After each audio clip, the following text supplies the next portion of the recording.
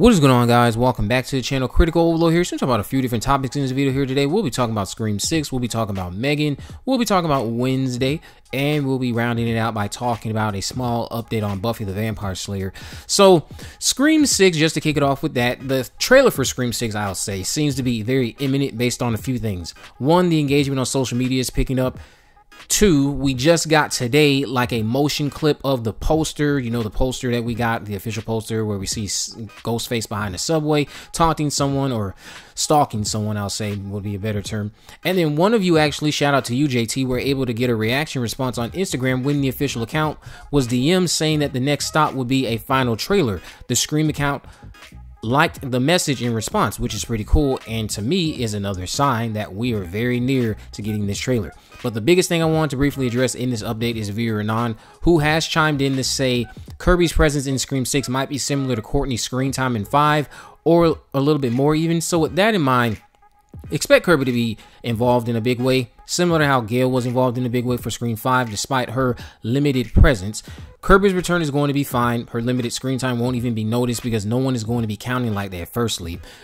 and secondly, her usage is quite good when it pertains to the story. So, what I want to also address is that consider that Courteney thing. Courteney, while many people probably would look at the screen time and say, yeah, she had a limited presence, no one's going to really knock the presence because they used her quite well. She showed up in Woodsboro. She ended up sticking around because she was teaming up with Sidney to get justice for Dewey, wanted to put an end to this once and for all. So they made use of that the limited screen time isn't what you need to be concerned about. It's really coming down to the context of it all. How was she used? Because if you're going to have a Lindsay Wallace scenario where you can show up as much as you want to, but what are you contributing to the overall story? Or are you just here? It's not going to be like that with Kirby. So I wanted to jump into this next topic here, talking about James Wan's, not James Wan's, but just talking about Megan. James Wan seems to have admitted that Megan's practical effects are due to the low budget nature more than anything when it comes to that movie. When speaking with Daily Dead, he said at the end of the day, this was a pretty low budget film in that respect, so it's not a film with lots of money behind it to be able to pull Megan off. What we had to do was be smart about everything and be creative with how we approached the character, and without spoiling it, we employed all kinds of methods and all kinds of techniques.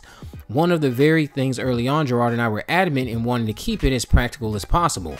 I'm a big fan of practical effects, and Gerard is really into that as well, so it made that easier. We used whatever tools we needed so that we could bring her to life.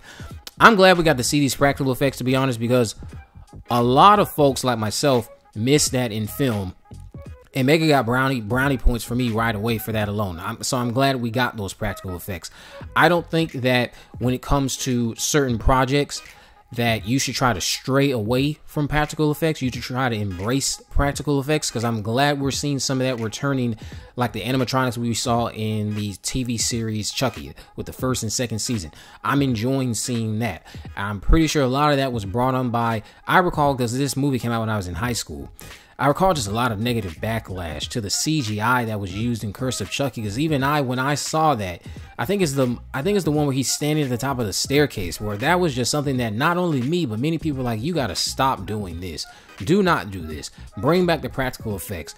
Use the animatronics. Bring in um, real actors who can just be dressed up in Chucky clothing. If you need to have Chucky running around, do not rely on CGI. So when it comes to Megan, I'm glad we got practical effects. Now, the headlines could be twisting it to say that the only reason we had practical effects was because of the low budget. So if we would have gotten a CGI fest, it probably could have been detrimental to the overall film and the overall reception, definitely, because people just love practical effects. I feel like a vast majority of your of your uh, audience would prefer that you can actually manage to keep the realism intact as much as possible. Just to jump into Wednesday, Wednesday season two has been announced by Netflix. Um, this is coming from the showrunner. She said, It's been incredible to create a show that has connected with people across the world, said showrunners Alfred Alfred Gough and Miles Millar. In a statement, uh, thrilled to continue Wednesday's Wednesday's Fortress journey into season two. We can't wait to dive headfirst into another season and explore the kooky, spooky world of Nevermore. Just need to make sure Wednesday hasn't emptied the pool first. I enjoyed the hell out of Wednesday, and Jenna Ortega's star power has only grown since the show released because her IG following went up. The show has been trending thanks to the iconic iconic dance number. I'm seeing so many people recreate over on uh, things like TikTok, Instagram, those of course could just be being reshared from TikTok, and so much more. I can't wait to see what Enid and characters like Bianca get to do in the next season.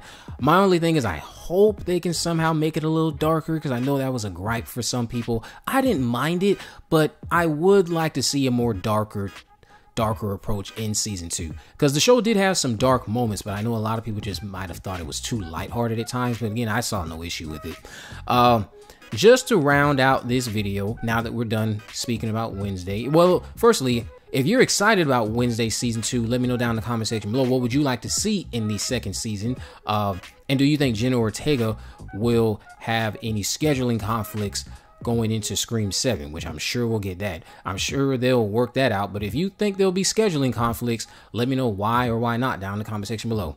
But just to finish off this video by talking about Buffy, Sarah Michelle Gellar recently had a interview with SFX magazine and she shared her thoughts on a Buffy revival and how she sees herself factoring into it and she basically is reiterating what she's been saying. I don't really think she wants to be reviving that character or be back in the shoes of that character. I'm not saying she would never return, but as it stands right now, you know, with nothing being thrown at her, aka money and other things, she's content with where they left the show. She said, I'm very proud of the show that we created and it doesn't need to be done.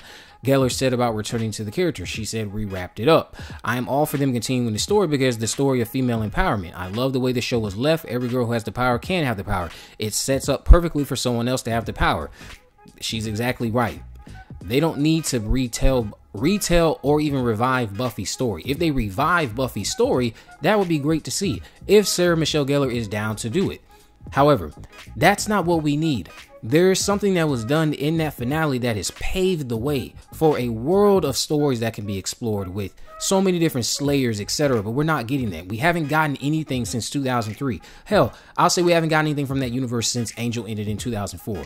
What I would love to see eventually uh, that bridges into something, maybe we get a show called Slayers, where each season you have Slayers focused on in the universe uh 10 episodes 12 episodes each season different slayers. Some could die some survive.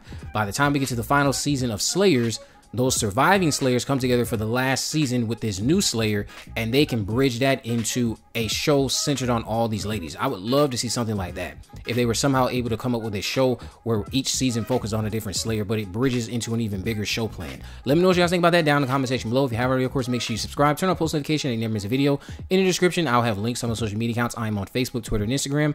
You can message me there, of course, to let me know if there are any movies, news, or reviews you'd like me to cover in the future. And with all that in mind, guys, I will see you in the next video.